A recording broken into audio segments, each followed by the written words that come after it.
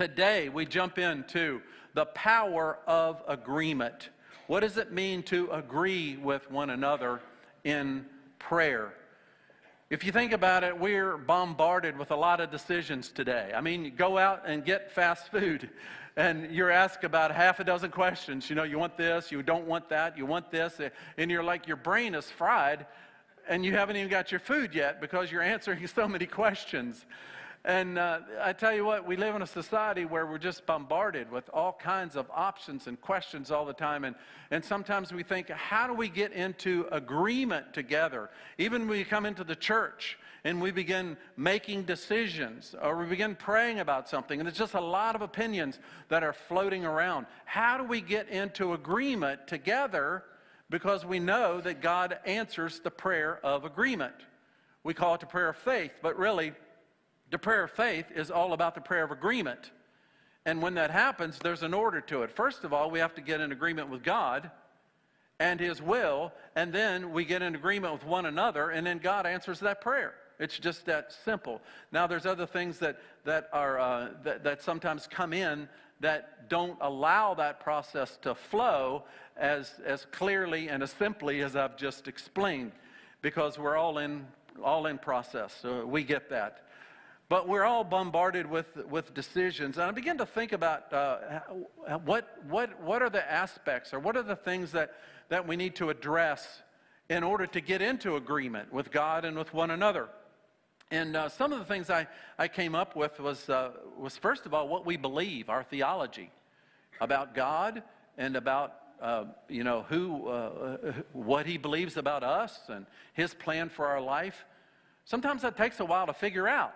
And when you come into agreement, if you're not, uh, you know, close to the same page, it can be challenging because people are believing different theology about things. I, I never forget uh, one of my seminary professors made this statement. He said that theology is not theology unless it's prayed. I thought, wow, that's, a, that's an incredible statement because most of the time when people discuss theology, they're dissecting it and they're dividing over it and they're, they're, they're, uh, you know, they're, they're giving each other's opinion about it. But his statement was simply this it's not theology until it's been prayed. And lots of times what we believe doesn't get prayed. It gets argued over and it gets defended, and yet it doesn't get prayed. And yet, I believe if we would do that, the Lord would bring us into agreement with His will and, and with one another. You know, another th- aspect I thought about is our motives. Why do we want an answered prayer? Sometimes it's for our own convenience. It would be more convenient if God would answer that prayer. Do you think that's what He has in mind? Probably not, always. Sometimes maybe He's, he's always for our, our help, but not for our convenience. It's for His glory that He wants answered prayer. And also, I thought about including others and in, the process of including others. Maybe it's your spouse getting in agreement with, with he or she. Maybe it's uh, the family getting in agreement with a family, with children and parents. It takes time, it takes work. Jesus said one time, He said that to, to believe is the work of God. That's an interesting statement. He said, to believe is the work of God. In other words, it takes work to believe, it takes work to get into agreement uh, together. And then I thought about sometimes we pray prayers that uh, can't be measured. Like, how, how do you measure? God save the world. Great prayer, right? But how do you measure that one? How do you know when it's done? How do you know when it's in process? Versus, God save my sister, or God save my brother, or God save my uncle. You can measure that one because you're going to know when your sister, your uncle, your brother gets saved, right? But how do you, how do you, you know, measure the one? God saved the world. And obviously he wants to do that, but I think that sometimes that to get into agreement, we've got to have something we can measure together to know when God says it's answered. And the final thing I thought about is, is that, um, that in order to, to uh, get into uh, agreement together, we have to have God's will and our will. It's been spoken. Nick mentioned it as he closed out service today, and they have to match together. They have to mix in together. So, this is some things that I was that I was uh, processing when I talk about the prayer of agreement. All the factors that have to be looked at and to come together. I'm going to read some scripture here, starting out just three groups of scripture that talk about agreement. And we're going to start in Matthew 18, just two verses, 19 and 20. And Jesus said to this, He said, Again, truly I say to you that if two of you on earth would agree about anything they ask for, it will be done for my Father in heaven. For where two or three gather in my name, there I am in the midst of them. Jesus makes this bold statement. Now, really, it's in the context of getting sin out of the church. That's the context. Because earlier, just a, a few verses earlier, he says that if, if somebody has uh, uh, odds against the other person, that first of all, you go to that person yourself. And if they don't listen, if they don't, if they don't acknowledge that something's wrong, then you take another person with you. So you go the second and to the same person and talk it out. If that doesn't work, then you go to a group. It says the church, but it's really a small group. You go to the church and you see again if that thing can get worked out, get agreement can be made. And if that doesn't work, Jesus says you treat them as a sinner and a tax collector. What is that? Uh, one of my former pastors told me what that meant, and I, have used it ever since. If you get to that place where you've gone through three levels of trying to get in agreement with God and they still don't want to cooperate, then you treat them as a sinner and a tax collector, collector, which means you love them, but you don't solve their problem because they don't want their problem solved. So you just love them, but you don't solve their problem because they don't want it solved. They've had three chances. And they're like, I don't want this problem solved. So you just love them and don't solve their problem. And it helps a lot when we have that, that understanding. 1 John 5 14 and 15 reads, This is the confidence that we have in approaching God, that if we ask anything according to his will, he hears us. And if we know that he hears us, whatever we ask, we know that we have what we ask of him. Wow. That's pretty powerful, isn't it? But it's based upon one thing. If we know what we ask is according to His will, we've got to discover what His will is. And we'll, we'll talk about that in a few moments. And then the last one I want to want to just mention is Amos 3 3. It's oftentimes read or, or, or said at weddings. It says, If two people would, uh, two people will not walk together unless they have first agreed to do so. I liken that to the old sack race. You, you remember that one where you put, uh, you know, two legs of, uh, you take two people and two legs in the sack and the other two legs, and you have to run the race, right? if you're not uh, in cooperation together, you will end up on the ground. It just doesn't work any other way. And so God uh, uses that example that uh, how can we walk together unless we, unless we agree? Let's jump in today in the outline. God answers prayer that agree with Him and each other. God answers prayer that agrees with Him and each other. And I want to just uh, kind of highlight here Matthew 18, 19, where it says, If two of you on earth would agree. It starts out and says, If. That's a, that's a conditional word. That, that word if means that we have a choice to make. If and if we don't make a choice in accordance with God's will or to get agreement with others, then we'll be in disagreement and what we want won't happen because we've not made the choice of if. And lots of times we, we you know, we'd like to make uh, choices for people for them especially in a marriage or a family situation. We'd like to make the decision, but this word says if, meaning you have to, as an individual, decide that you want God's will in the matter, and if you don't, you'll be in disagreement. You'll be in disagreement with God and also the others around you that want God's will. So we have to decide. The second uh, word there that pops out to me is the word agree. Those of you that have uh, studied into this a little bit, you, the, the, word in Greek is, is uh, symphony or sympheo, which where we get the word symphony. And uh, actually coming out of that in a symphony, you have harmonies. And so God is not just looking for unity, He's looking for harmony. That's kind of interesting, isn't it? Uh, you know, maybe you learn, know how to sing or you appreciate good song, but you can sing a song in unity or you can sing it in harmony. And there's a difference. What would you like to listen to? God says the word agree is harmony, not just unity. In fact, I found this video of the difference between harmony and unity. I mean, uh, uh, uh, unison and harmony. So let's just take a listen, uh, a look, or listen rather. You can look too, but let's take a listen and see which would we like to listen to. Let's. Uh, and let's just uh, and just um, wanted to demonstrate a little bit of the difference between unison and harmony with Beyond Steels and my sister Robin. So we're just gonna check it out, and you guys show us what it's about. As the deer panteth for the water, so my soul longeth after thee. Now we're going to harmony.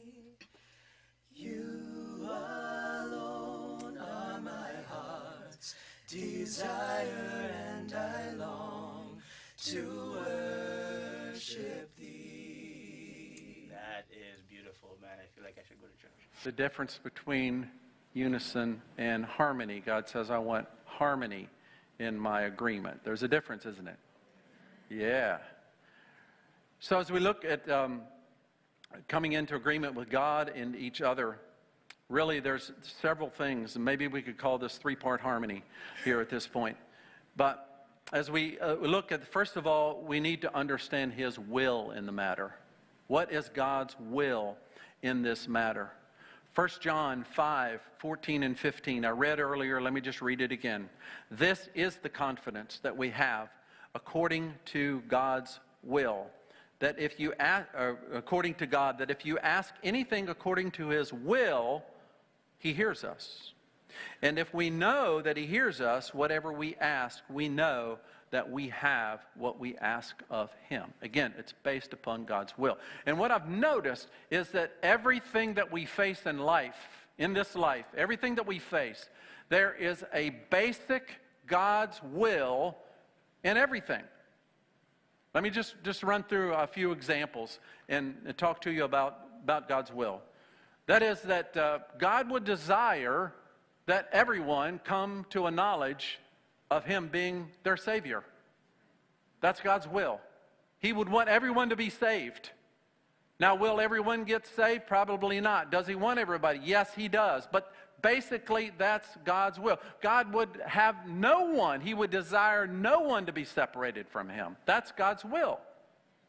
It's basic on that. Here's another one God's will is that one man and one woman would be married for their life. That's God's will. That's God's basic will. Does it always, excuse me, does it always turn out that way? No, it doesn't. And it doesn't mean that people can't get back into God's will after that happens, but that's God's basic will in marriage. One man would be married to one woman for their life. That's God's will.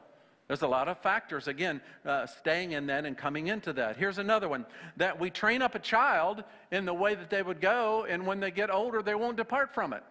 That's God's basic will, that parents would train their children how to be a success in life, to know the Lord and, and to live and, and, um, and have the opportunities that come their way and, and be a success in that. Here's another one God's basic will is that we would love Him with all of our heart and soul and mind and strength and love our neighbor as ourselves. That's God's will. In fact, if you do the first part, you'll have no trouble doing the second part. You try to do the second part, loving our neighbors ourselves, without doing the first part, you're going to end up in a lot of disagreements. You say, well, how is that done? We'll just read the Ten Commandments because the Ten Commandments really unfolds those two commands. Uh, part of them is loving God, and part of the ten is loving one another, how we love one another according to God's will. And so there's all, there's, I mean, God has His will for, for healing and getting free, and, and, and, and uh, God has his, his will for finances and how that would operate in our life. So God has a basic will uh, upon all of life, and then, and then uh, once you understand that, you work towards it to come into agreement with what He has in mind. So, how do we figure that out? We, we use His Word. And, and that's the starting place. We have a spirit that again interprets things individually sometimes, but, but his word has a lot of, of great truth that we can that we can search out and know. One Wanda's in the process of writing a book where she is taking her journal that she started as a teenager and up to her adult years and she wanted to know God's will in a whole bunch of different topics of life. And so she just went and, and said topic of like finances or healing or relationships. And she went and listed all the scriptures she could find in the Bible relating to that topic. And then a prayer at the bottom. So that's going to come out in the fall. But she's pretty excited about it because the whole book is basically settling God's will about a certain life topic that we deal with.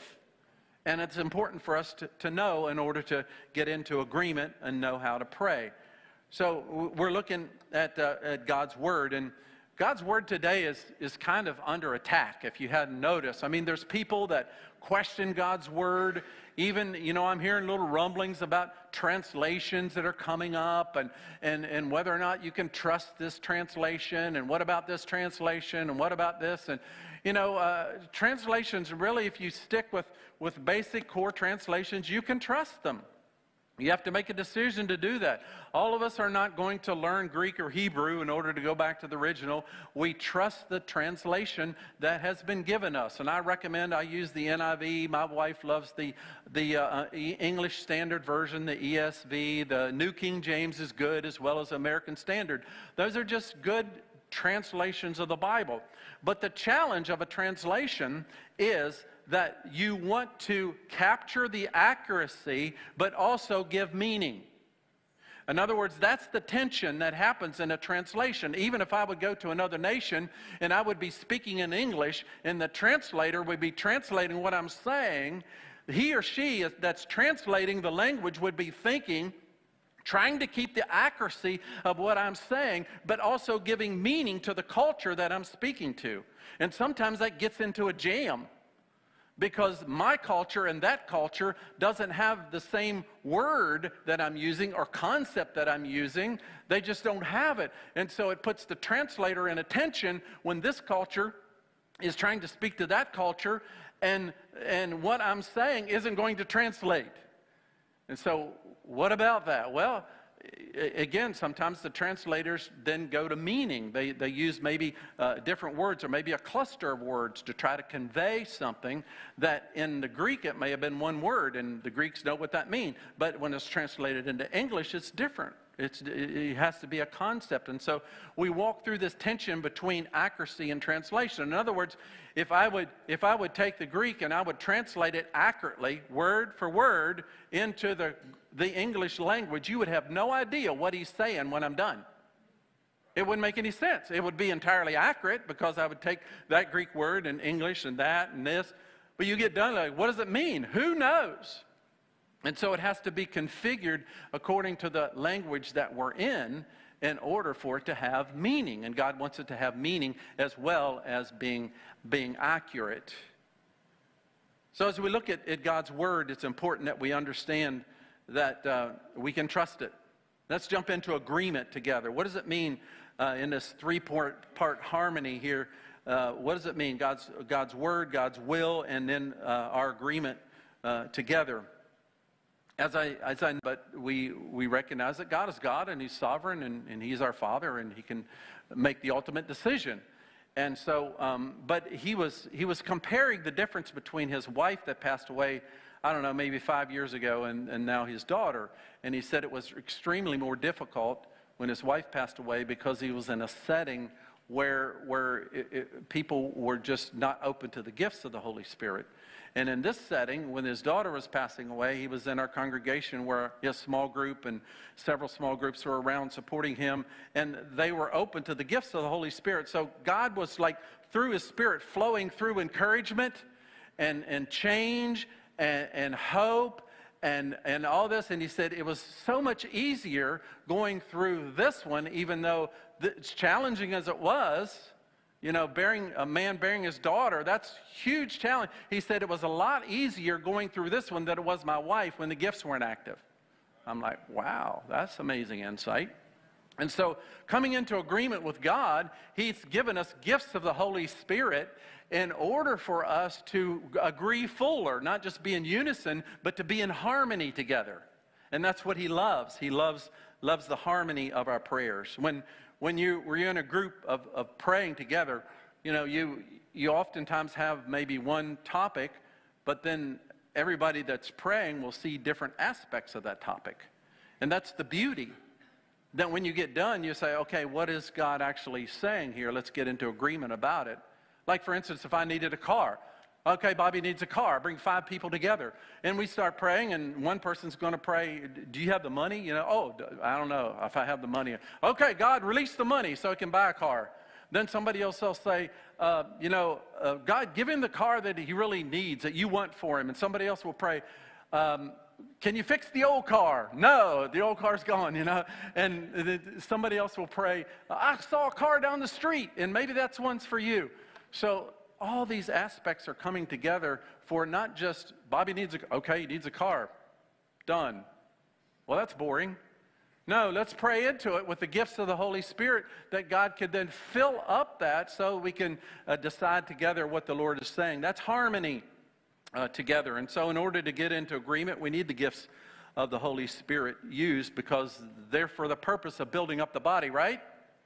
Yes, I hope you understand that. They're not for competition, they're not for show, they're for the purpose of building up the body. So, we have this three part harmony of His Word, His will, and then agreement together. Number two, how does agreement, why does agreement in prayer seem so difficult? You ever thought about that? Why does getting into agreement seem so difficult? Why do we have to argue about things? Why can't we just agree? because it's in human nature.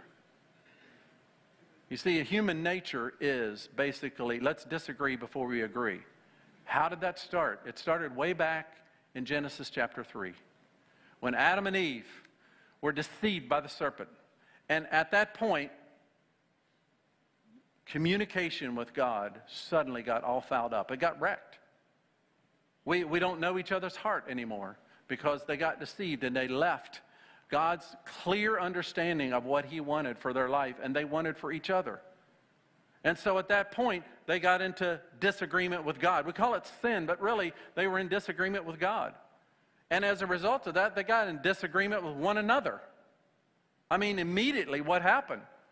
God said, what happened? What went wrong? Why are you hiding? And they said, Well, because we're naked. And he said, Well, who? Who said you were naked? And suddenly they're just in this disagreement. And obviously they didn't have clothes on, but there was also something inside that got exposed as well. Because originally there was no separation between the natural and the spiritual with Adam and Eve. But suddenly, after their disobedience, then there became a separation between the spiritual and the natural.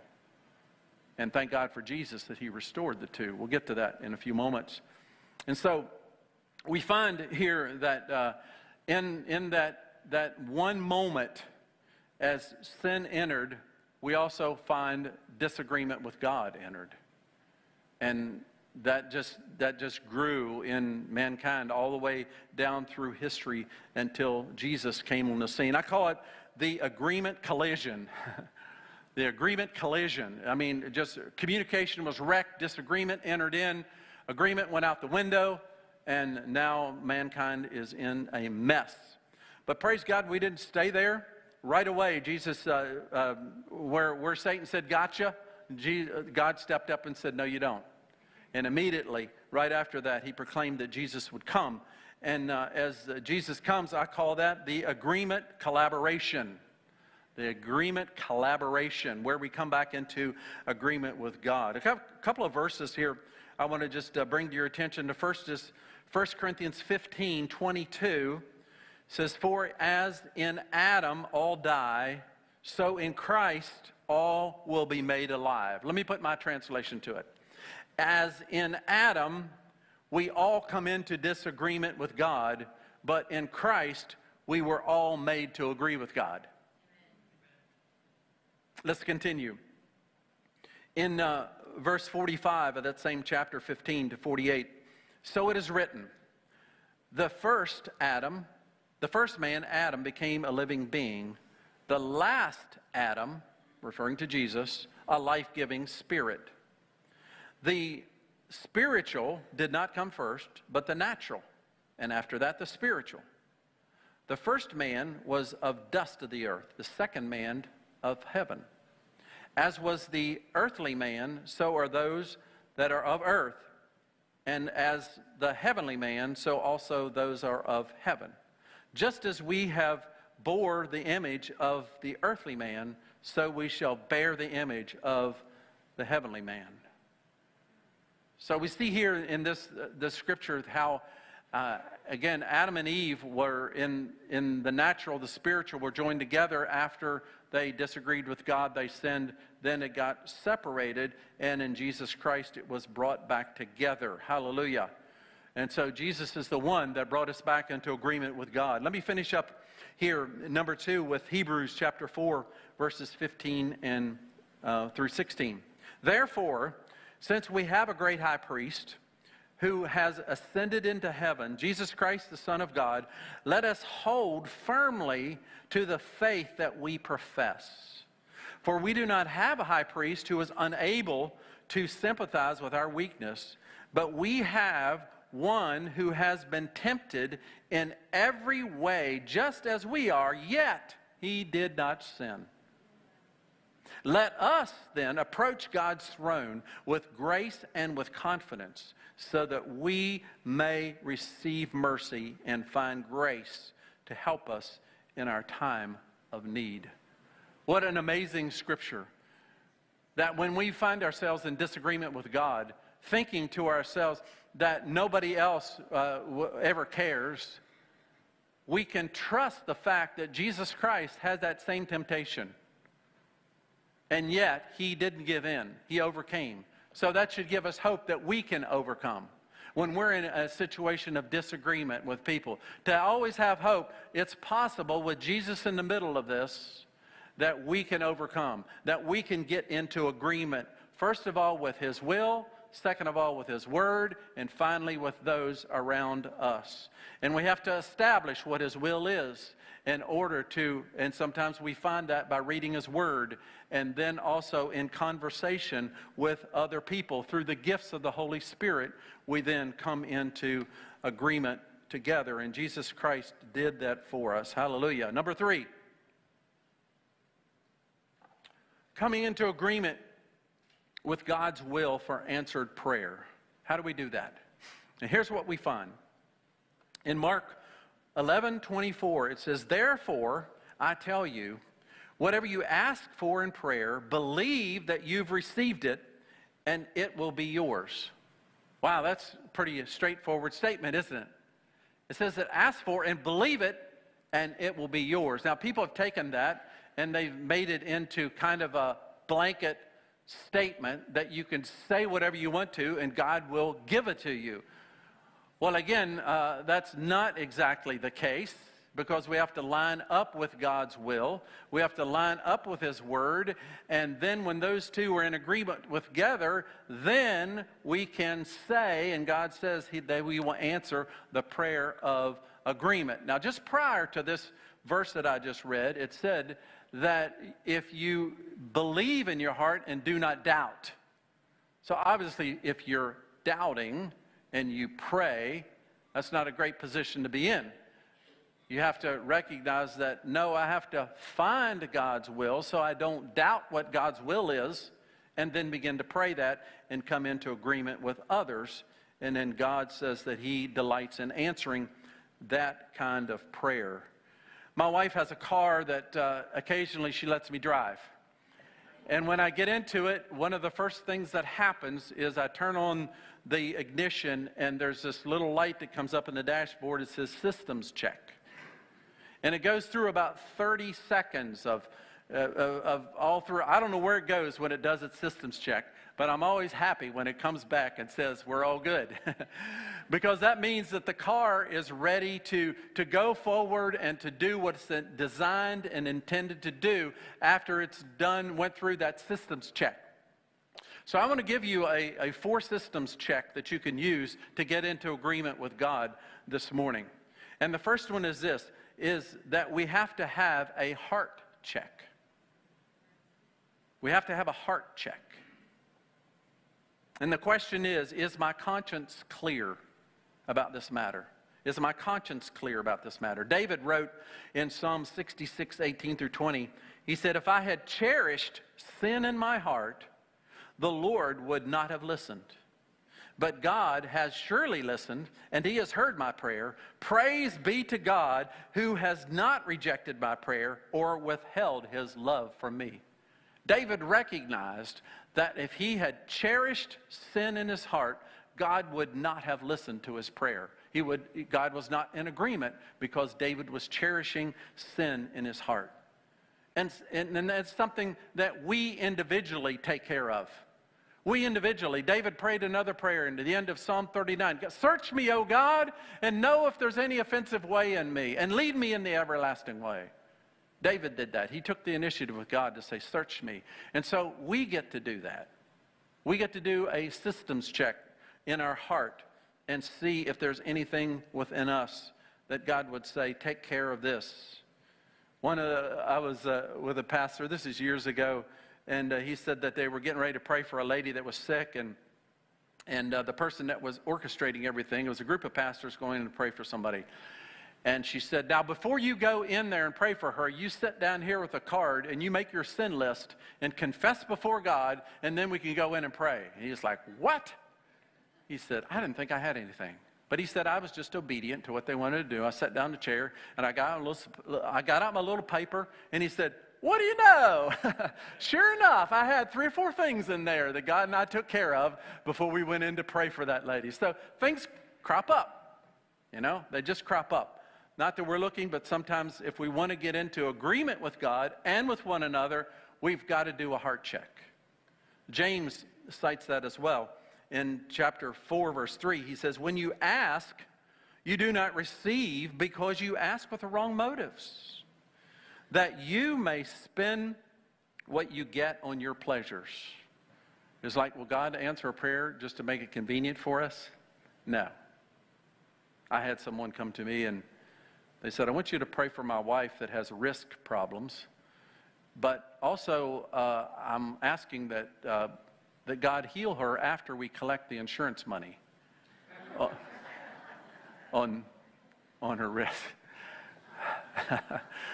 Yeah. I'm like, what? I'm sure God said the same. So we have to have the right motives. Here's the second check. We need to, we need to have a head check. I'm not talking about lice either. We need to have a head check. In uh, first, um, or Second Corinthians rather, uh, chapter 10, verse 5, Paul says this. He says, We demolish every stronghold and every pretension that sets itself up against the knowledge of God, and we take captive every thought and make it obedient to Christ. This head check is simply this Is my mind staying on Jesus and His Word? As I'm coming into agreement with what he wants? Is my mind staying on Christ? Or is my mind on the offense? Is my mind on how much that person hurt me?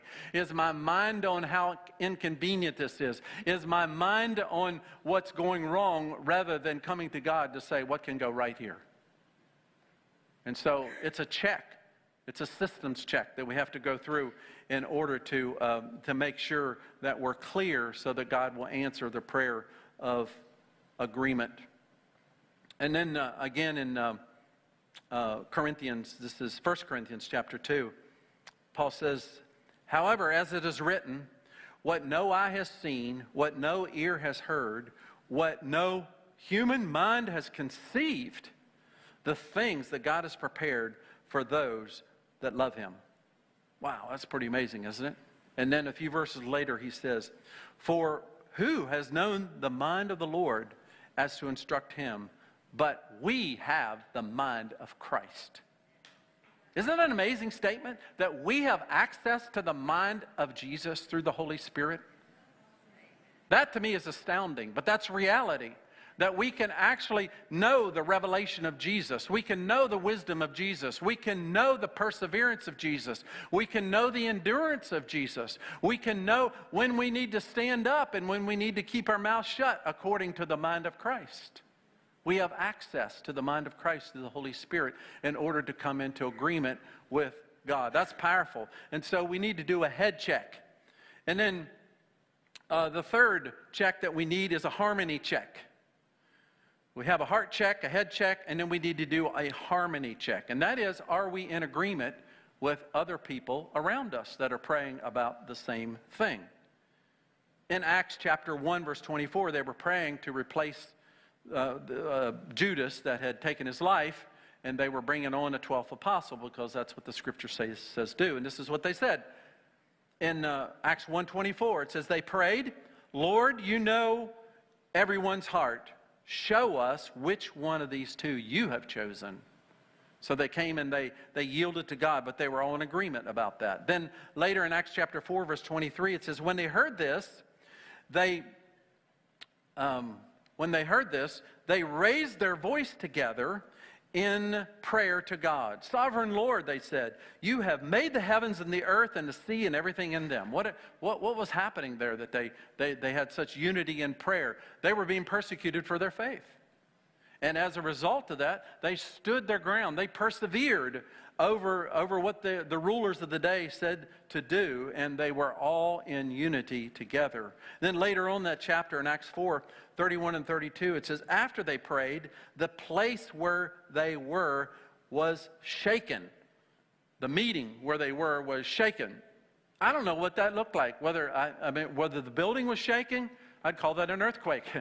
I'd run out whether the people were shaking, whether the chairs were shaking, I don't know what was shaking. It says the meeting was shaken. And as a result of God coming in that way, because they were in agreement together, then it says all the believers were one in heart and in mind.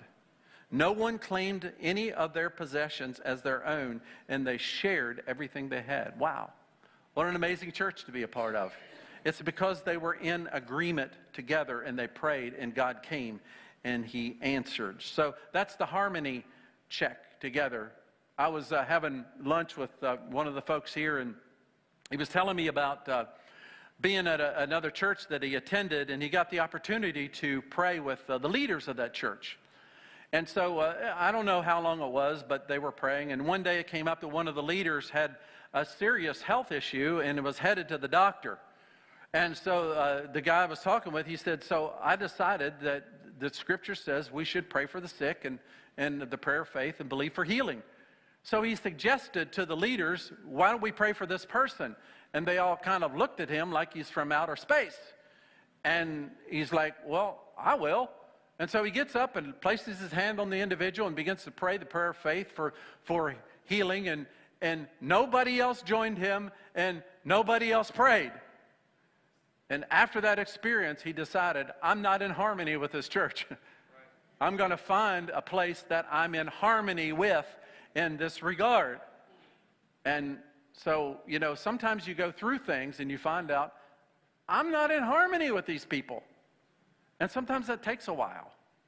And uh, then you have to decide whether or not God is asking you to stay and influence them or whether He's asking you to lead, uh, leave. And really, it depends um, on a lot of different factors. Um, hopefully, not core doctrine. Sometimes it can be dependent upon opinion.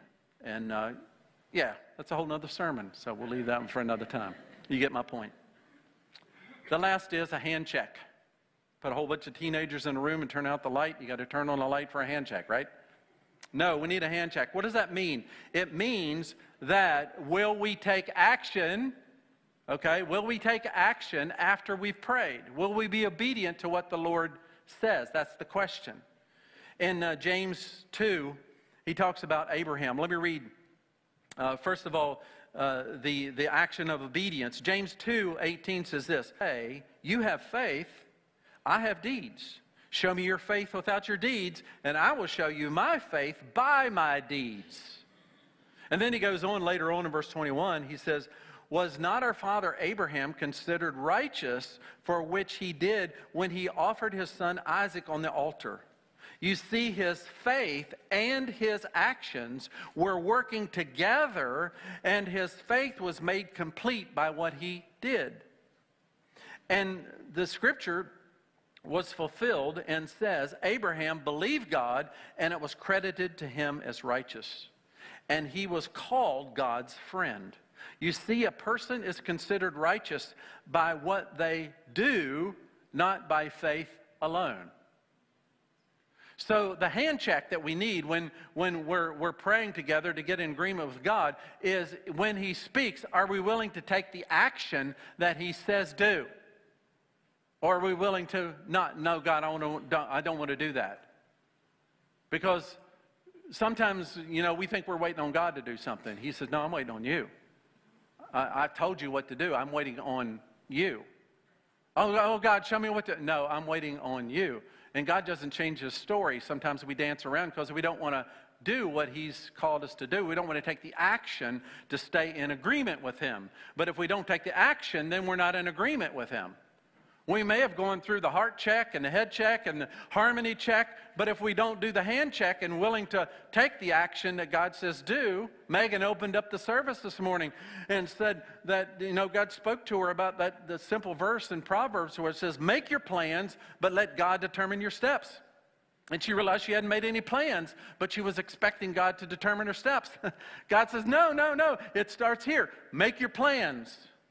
Understand my will, understand my word, get in agreement with those around you, make your plans, and then let me determine your steps. That's the way it works. And so we have to come into agreement that way. Well, maybe you realize today that you're out of agreement in something. Hopefully, the systems check can help you. That you realize, wow, I need to come and just come before God and ask Him, is, are we okay? Is my conscience clear? Is there anything that I need to take care of between you and I, just as individuals? And let God speak. He's a loving Father. He doesn't want to keep separation from you and him. That's not his goal. That's not his desire. He wants you to be close. Abraham was called a friend of God. And we can be a friend of God. In fact, he calls us a friend of God. And in uh, John chapter 15. He calls us friends. And so we have to be willing to, to make that heart check.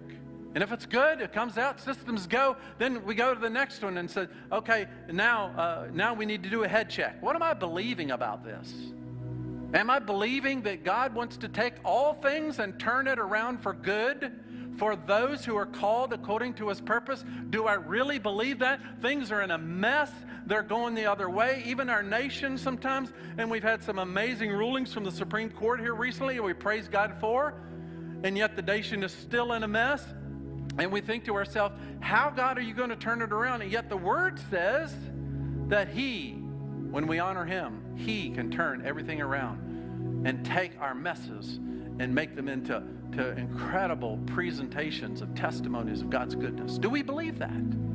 We can lose you know, we, can, we can lose belief.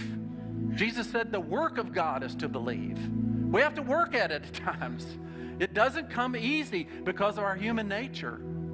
So maybe you're at the place of needing to do a head check. You realize, wow, maybe I am not believing what, what God really says I should believe. Maybe I need to do a head check. Maybe I need to do a study. Maybe I need to be the first in line for Wanda's book so I can figure out the topics and what God's will is. And then we need to do a harmony check. When we ask people to pray for us, what's the agenda behind that? Is the agenda that we would get our prayer answered for our own convenience, or is the agenda that God would be glorified? And we go back and do a heart check again because our agenda's wrong. But harmony with people is important. Jesus recognized that it's not about you and I, it's about others around us. It might be two or three or, or four or seven or seven thousand. But he says, Come into agreement and I will answer the prayer. I'll shake the meeting that you're in when you come into agreement. And then finally, the hand check. And that is, are we willing? Maybe there's something you already went through the other three and you're stuck on the hand check. you're like, God, I don't want to do that. God, I don't want to. You've spoken clear, you made it clear, but I, I'm, I'm not ready to go there. I'm not ready to. Man, again, if you want to get in agreement with God, you have to go all the way. You have to go through all checks, all, all of them. But let me just encourage you today to say this, and that is that God's a loving Father, and He He uh, is is, is so passionate about where you're at, and uh, He can empower you to get over you. he can empower you to get over you. And in a few moments, we're, we're going to uh, have some folks that uh, will be available to pray with you. I want to encourage you that if you're going through one of these checks and you, and you, and you stopped and, and the, and the red light's going off, going, yeah, yeah, yeah, you know, get that one checked, then come on up and, and get it fixed. Jesus is a great mechanic. I mean, he knows exactly, precisely where to, to unlock that which is broken. In the first service, we had a word of knowledge of someone with a uh, eating disorder. I don't know. I'll just share that in a second. That God wants to heal you, and I recognize that if you do have an eating disorder, that it relates to. Uh, there's also a thinking disorder, because eating disorders relate to thinking disorders, and and God wants to do a head check with you to straighten out your thinking so your eating disorder can be healed. Let's pray. Heavenly Father, thank you for allowing us to spend some time to what it means to come in agreement with you because you do answer the prayer of agreement. You are the one that delights in bringing heaven to earth. Jesus, you told us to pray. May it be done on earth, in earth, in your life. May it be done on earth as it is in heaven, God. You would delight to have this, this, uh, this uh, uh, communication you would, you would delight in having it so clear and, and so quick and so precise that there wouldn't be delay, God. You would delight in that, Lord. And yet we live in a world and time and all the things that we've accumulated in life. Lord, we struggle to come into agreement. God, help us be more aware that you delight in answering the prayer of agreement. And Lord, I, I pray that as we understand this to a, a fuller dimension, that we will see more and more and more and more answers to prayer. So thank you, Father, for letting us look in the mirror this morning so that we can see reality. But then when we look in the mirror, we also see you. We see Jesus. We see what he accomplished for us. We see what he accomplished as us because he became a man and lived among us. And we're grateful, Lord, that we have all the tools that we need, all the power we need, all the ability that we need in order to win in the end. God, help us to come into agreement with you, with your will, your word, with one another, and to do what you say do. In Jesus' name, amen.